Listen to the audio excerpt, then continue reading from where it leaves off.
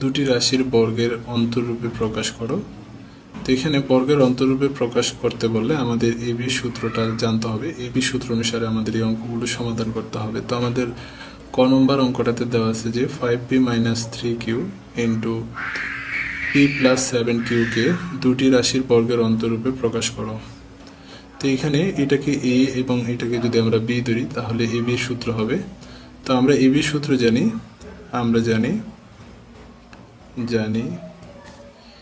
এ B সমান A plus B by two whole square minus A minus B by two whole square এখানে A এটাকে যদি আমরা এ ধরি, এটাকে যদি বি ধরি, তাহলে five P minus three Q into P plus seven Q এটাকে যদি এ এর সাথে তুলনা করা হয়, এটা যদি বি এর সাথে তুলনা করা হয়, তাহলে এ বি এর সূত্র হবে এ প্লাস বি এখানে এ প্লাস বি এ হচ্ছে এটা, অর্থাৎ five P minus three Q plus B হচ্ছে এটা পি প্লাস সেভেন কিউ ভাগ দুই whole square minus A minus B A হচ্ছে এটা, অর্থাৎ five P minus three Q minus B হচ্ছে এটা।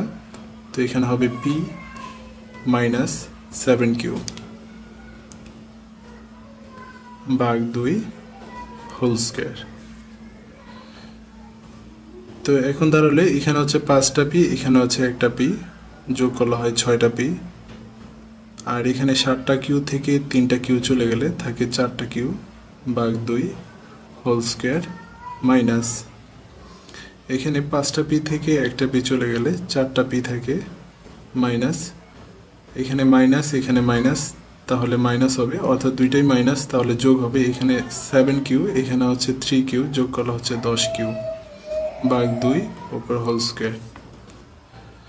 তো এখন উপর থেকে কমন যায় এখানে উপর থেকে কমন যায়। তাহলে আমরা এটা লিখতে পারি, এখান থেকে দুই কমন যায়, দুই কমন গেলে এখানে থাকে three P minus two Q বাঘ দুই হোল স্কোয়ার মাইনাস এখান থেকে যদি আমরা দুই কমন নেই, তাহলে থাকে হচ্ছে two P minus five Q বাঘ দুই হোল স্কোয়ার এখন এই দুই দুই কাটা, দুই দুই কাটা, তো আমরা পাইলাম যে three P minus two Q whole square minus two P minus five Q whole square অর্থাৎ এটাই হচ্ছে দুটি বর্গের অন্তরূপে প্রকাশ, তাহলে আমাদের অ্যান্সারটা হবে এটা।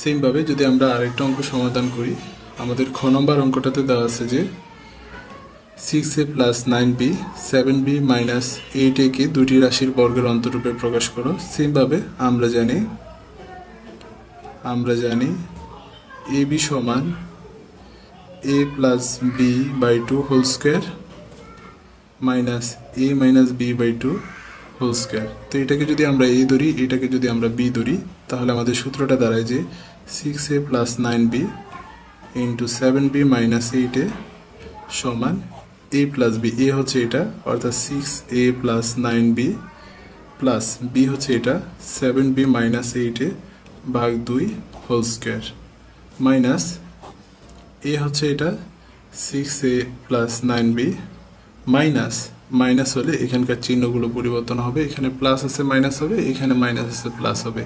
অর্থাৎ মাইনাস সেভেন বি প্লাস এইটে ভাগ দুই হোল স্কোয়ার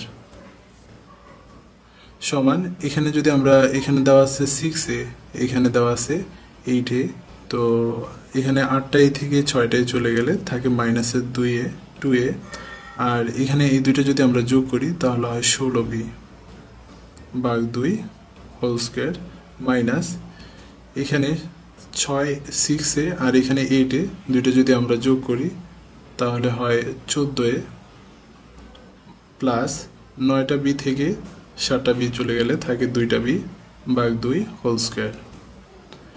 এখান থেকে এখন যদি আমরা কমন নেই, এখান থেকে কি কমন যায়? মাইনাস আছে। মাইনাস টু যদি আমরা কমন নেই মাইনাস টু কমন গেলে এখানে থাকে এ প্লাসে মাইনাসে মাইনাস এইট বি ভাগ দুই হোল স্কোয়ার মাইনাস এখান থেকে কমন যায়, দুই কমন যায়।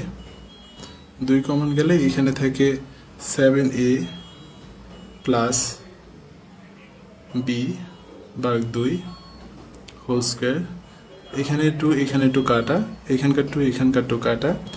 তো এখানে মাইনাসের উপরে দেওয়া আছে স্কোয়ার তো কোনো মাইনাসের উপরে যদি পাওয়ার জোর থাকে, তাহলে সেটা প্লাস হয়ে যায়। অর্থাৎ আমরা পাইলাম A minus eight B whole square minus seven A plus B whole square এটাই হচ্ছে দুটি বর্গের অন্তরূপে প্রকাশ।